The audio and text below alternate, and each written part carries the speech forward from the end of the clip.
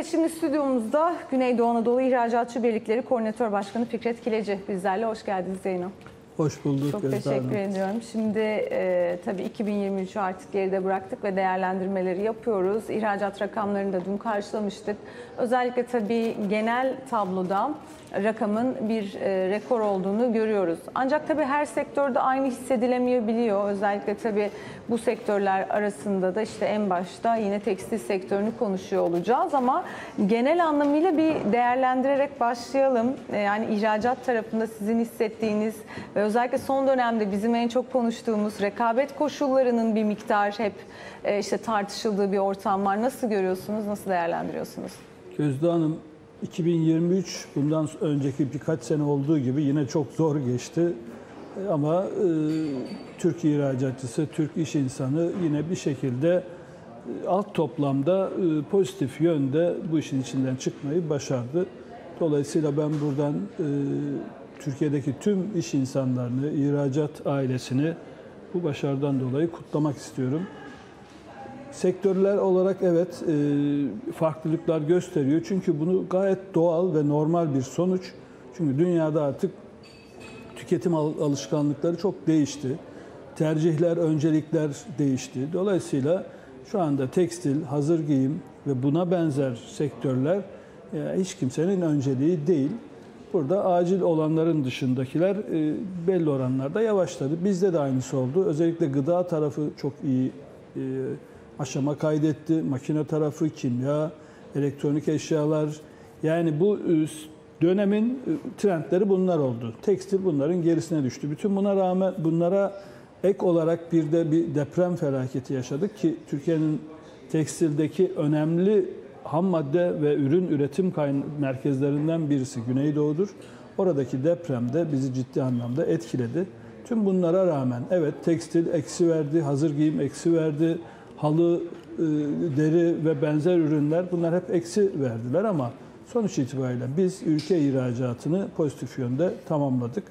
Bundan sonraki süreçte çok kolay olmayacak işimiz. Ee, Çünkü bu yeni sisteme bir şekilde ayak uydurmamız ve buna dönüşmemiz gerekiyor. Dönüşüm biliyorsunuz çok öyle kolay olan bir şey değil. İnsanları önce ikna edeceksiniz, bir şekilde görecekler. Onun sonrasında ancak siz bir takım şeyleri becerebilirsiniz. Ama biz bu işin altından bence kalkabileceğimizi ben düşünüyorum. Şimdi önümüzdeki dönemde tabii muhtemelen yine en çok maliyet unsurlarını konuşacağız gibi görünüyor. Türkiye'de özellikle e, işte hep üfe rakamları enflasyonun önünde koşardı ama şimdi biraz daha tabii işlerin terse döndüğünü de gördük.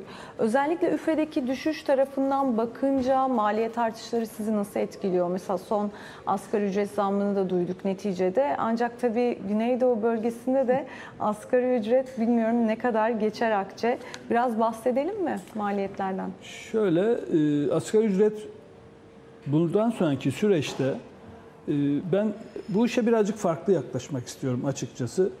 Biz gelişen bir ülkeyiz. Bir şekilde sınıf atlayan bir ülkeyiz. Biz eğer bu yolda devam etmek istiyorsak bundan sonraki süreçte asgari ücret maliyetiyle değil de daha böyle ürünün ön plana çıktığı işlerle bizim hayatımıza devam etmemiz, üretimimize devam etmemiz gerekiyor. Çünkü biz bundan sonraki süreçte bu maliyetlerle yani bugün işçimizin eline, çalışanımızın eline 580 dolar ki bu Türkiye tarihinde böyle bir rakam yok ama maalesef ne ve işveren ne de iş e, arkadaşlarımız bundan memnun değiller. Bu maliyetlerle ki işverene maliyeti bunun 800 ila 1200 dolar arasında değişen bir Giydirilmiş giydirilmiş maliyetler var. ne kadar 1200 dolara mı Yaklaşık geliyor? 1200 dolar hesaplayan da var, 850 dolar hesaplayan da var.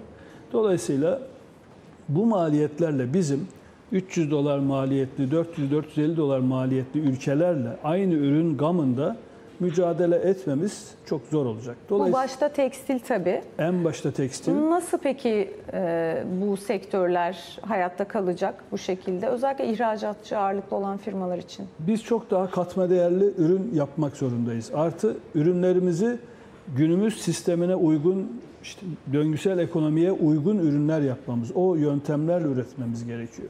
Bunları yaptığımız zaman e, biz şu andaki şartlarımızda ve ürünlerimizde değil çok daha farklı bir alanda ilerlemiş olacağız. Öbür tarafı da vazgeçmeyeceğiz elbet. Yani bu bizim geçtiğimiz yoldan bugün İtalya'da geçti, Almanya'da geçti, Avrupa'nın birçok ülkesi geçti. O ülkelerde tekstil devam ediyor. Nasıl devam ediyor? Onlara onlar da bu tür ürünleri bir başkasına yaptırarak yani markalarla bir şekilde ayakta Evet. duruyorlar. Bizim de hep konuştuğumuz evet biliyoruz bu çok kolay bir şey değil ama bir yerden başlayıp bunu devam ettirmemiz Burada gerekiyor. özellikle ihracat tarafında e, hazır giyimi ve tekstili düşündüğümüzde daralmanın zaten sert olduğu görülüyor. Değil mi? Evet. İhracat tarafında Avrupa ana pazarımız zaten kaçınılmazdı. Ne kadarlık bir daralma ve hani önümüzdeki döneme ilişkin ne kadar iyimsersiniz? Yani 2024 kuşlarını hem maliyet olarak düşündüğünüzde hem e, bizim ana pazarlarımız olarak düşündüğümüzde e, nasıl bir çıkarım yapalım? Şöyle e, biz tekstilde ve hazır giyimde ortalama 8.7 bir daralmamız var. Hazır giyim birazcık daha fazla 9.2, tekstil e, 7.6 civarında. Dolayısıyla e, bu daralma bundan sonraki süreçte rakamsal anlamda değil de karlılık anlamında yükselmesi için az önceki söylediğim sistemi uygulamamız gerekiyor. Yani bizim bu 2024'te 2025'te aynı işleri yaparak aynı ürün gamında aynı konvansiyonel üretim modelleriyle bunu yükseltmemiz Peki. bu şartlarda çok doğru olmayacak. Peki, çok teşekkür ediyorum başkan geldiğiniz için. Çok çok e, kolaylıklar diliyorum. E, bir soru da aslında sorayım hazır çünkü öbür konum da hazır değilmiş şu anda zannediyorum. Son olarak da e, biraz enflasyon cephesinden değerlendirmenizi rica edeceğim. Yani bu ham madde girdileri vesaire şimdi yeni eklenen krizle birlikte sizin koşullarınızı nasıl etkiliyor? Ham madde koşul bir şekilde bütün dünyada geçerli. Yani az önce bir şeyin de altını çizmemiz gerekiyor. Ee, Kesinlikle bu tekstildeki daralma sadece Türkiye ile ilgili değil. Bütün dünyada bu böyle. Yani da- daralma sadece Türkiye'de değil, herkeste, her bütün ülkelerde var. Ee, Ham madde tarafında buna bağlı olarak, bu daralmaya bağlı olarak, arz talep dengesine bağlı olarak fiyatlarda bir gerileme var. Ama maalesef bunun arkasından şu anda çıkan bir e, Süveyş kanalındaki problem de bizim özellikle ham madde tarafında, uzak doğudan gelen ham maddelerimizde ciddi anlamda farklılıklar yarattı. Yani bizim ne kadarlık mesela son şu bir ayın etkisi, birkaç haftanın etkisi ne kadar hissedildi? Şöyle söyleyeyim bizim 700-750 dolara gelen 20'lik konteynerimiz şu an 4500 dolarlara çıktı.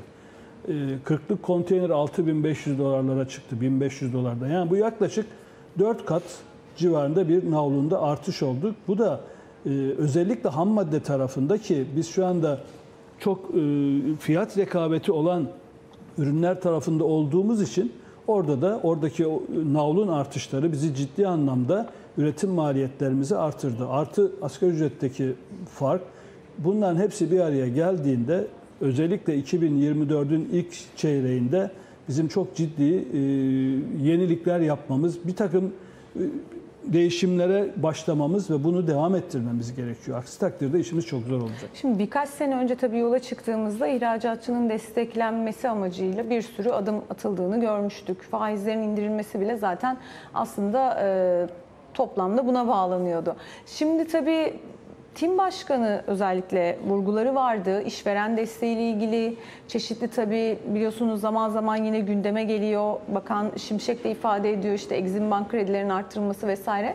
Nasıl etkiliyor sizi koşullar? Yani bunlarla birlikte e, üreticiler ne kadar rekabet etme avantajını yakalayabilir? Şimdi bunların hepsi küçük küçük e, destekler. Yani e, elbette bunların e, çok büyük böyle anormal bir artı pozisyonlar olmayacak ama mesela ücret desteği 700 liradan 1500 liraya çıkmasını Tim Başkanı e, baş- ifade etmişti. Evet. Başkanımız Mustafa Gültepe dünkü açıklamamızda da söyledi. E, Bu bizim için bir avantaj. Artı e, şimdi kredi tarafında şöyle bir şey var. Kredi ucuz, ulaşılamayacak olmaması lazım. Uygun kredi, uygun şartlarda ama erişilebilir olması gerekiyor. Şu anda da açıkçası bunu e, yapmaya çalışılıyor. Özellikle özel bazı ürünler var, bazı sektörler var. O konularda ihracatçı için çok ciddi destekler var. Bundan e, ciddi anlamda faydalanmamız gerekiyor. Şunu çok iyi biliyorum Gözde Hanım. Şu anki ekonomi yönetimi ülkenin ihracatçısına, ihracata dayalı yapılan tüm yatırımlara, ihracatın özellikle de ithal ikameli olan yatırımlarına çok ciddi destekler var. İhracatçı şu anda pozitif yönde ayrılıyor. Ve biz de bunu doğru kullanmamız gerekiyor. Tabi burada yani her sektöre değil, ihtiyacımız olan sektöre, doğru alanlara, doğru e, mecralara yatırım yapmamız gerekiyor. Elimizdeki 100 birim kapasiteyi 101 yapmanın ihtiyacımız artmışsa hiçbir faydası yok. Dolayısıyla bunu özellikle açıklanan 284 tane bir ürün kalemi var. Burada bu alanlara çok ciddi yatırımlara destekler var. Pazarlarla ilgili desteklerimiz var. Uzak ülkelerle ilgili destekler var. Yani bunların çok iyi analiz edilip çok iyi kullanılması gerekiyor. Bizim tabii birim ihracatımızda artış görüldü. Ee, Özellikle mesela Güneydoğu Anadolu bölgesinde tekstil sektörü tabii ağırlıklı ama diğer sektörler bunlar hepsi aynı şekilde yansıyor mu? Ee, Mesela tekstil tarafında birim ihracatta bir artış var mı? Tekstil tarafında da var. Diğer konular, diğer sektörlerde de var. Şu anda bizim birim kilogram fiyatımız 1.57 dolar gibi bir rakama çıktı ki bu hakikaten e, yani takdire şayan bir değerdir. Bunun bizim hedefimiz gün her gün birazcık daha üzerine koyarak belli bir nokta. Zaten bunu artırabildiğimiz zaman birim ihracat fiyatımızı yani e, nitelikten niceliğe ni- pardon ni- nicelikten niteliğe döndüğümüz zaman biz zaten bütün problemlerimizi çözmüş olacağız. Yani 100 ton mal satıp da 10, 10 dolar kazanacağımıza biz o 10 doları bir 20-25 tonla kazanabilmemiz lazım. Evet, burada tabii e, özellikle önümüzdeki dönemde şimdi daha tabii etkisi hissedilmedi ama piyasadaki sıkılaşma, e, malum bir yavaşlama neticesinde istihdam tarafında beklentiler mesela nasıl? Daha önce çünkü tekstil ve hazır giyim tarafında işten çıkarmaları hep konuşuyorduk. E, bir daralma olmuştu orada. Nasıl durum sizin orada? Şu anda- Özellikle deprem etkisinde konuşalım mı orada? Olur. Ee, deprem etkisi özellikle Adıyaman'da, Kahramanmaraş'ta, Malatya'da ve tabii ki Hatay'da ciddi anlamda hala devam ediyor. Bizde o kadar e, devam etmiyor. Ama o bölgelerde çok ciddi anlamda sorunları devam ediyor bu arkadaşlarımızın. %100 zaten bitmesi biraz zaman alacak. Tabii. Bu oradaki insan kaynağından kaynaklı. Bizim burada kendi sektörümüzde evet bir takım e, daralmalar, bir takım işten çıkarmalar doğal olarak var ama baktığınızda o arkadaşlarımız dışarıda kalmıyorlar. Çünkü diğer sektörlerde de ciddi anlamda bir e, tekrar işe almalar var. Bizim kendi sektörümüzde de Şimdi Gözde Hanım müsaade ederseniz ben burada çok böyle Tabii, ayrıntılı lütfen. bir şey söylemek Son bir istiyorum. iki cümle alayım. Bizim ülke olarak sosyal yardım politikamızı ciddi anlamda bir gözden geçirmemiz gerekiyor. Yani bir tarafta biz bu yardımları yaparken öbür tarafta da bu işsizlik varken biz aynı şekilde çalıştıracak insan bulamayan sektörler var. Kalifiye adam bulamayan sektörler var. Bunu özellikle beşeri sermaye tarafını iyi kullanmak adına bu sosyal yardım politikalarımızı e, gözden geçirmemiz gerekiyor. Peki. Yani Çok burada çok ederim. önemli e, bence kritik noktalar var. Oralara daha bir basmak gerekiyor. Peki çok teşekkür ediyorum Fikret teşekkür Kileci. Kolaylıklar diliyorum. Güzel bir yıl olur umarım sizler İnşallah. için Bu- diyelim. ben bu vesileyle herkesin yeni yılını kutluyorum. Sağlık, mutluluk, huzur diliyorum. Teşekkürler. Adnan